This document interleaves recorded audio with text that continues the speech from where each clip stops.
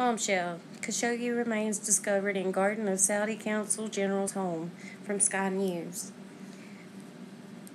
Hours after Turkish President Erdogan demanded that Saudi Arabia disclose the whereabouts of journalist Jamal Khashoggi's remains, body parts reportedly belonging to Khashoggi have been found, according to Sky sources. Though the exact location wasn't revealed, according to anonymous sources cited by Sky News, the writer had been cut up and his face disfigured. One source suggested that Khashoggi's remains have been discovered in the garden of the Saudi Consul General's home why has the body of someone who was officially said to be killed not found not been found yet? Erdogan asked during his speech at Turkey's parliament on Tuesday. He added that all 18 of the Saudi nationals arrested in connection with the killing should stand trial in Istanbul.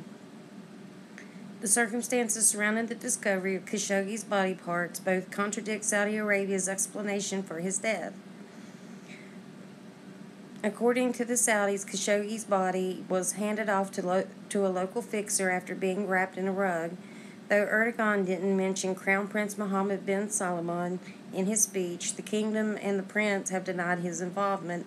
If accurate, the discovery of Khashoggi's remains will likely unleash a new round of international pressure on the Saudis, who have seen foreign investors pull money from their stock market while Wall Street CEOs and a handful of industrialists and tech titans have pulled out of the kingdom, kingdom's Davos in the desert. So, guys, what do you think about this? Um, I think that President Trump probably knows what. Uh, what happened because of the watch, the smart watch that he was wearing. Let me know what you think in the comments below.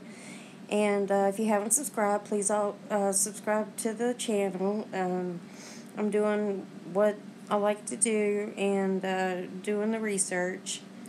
So if you've enjoyed this, please subscribe and press the like button, and uh, I'll keep you updated on this as it comes along.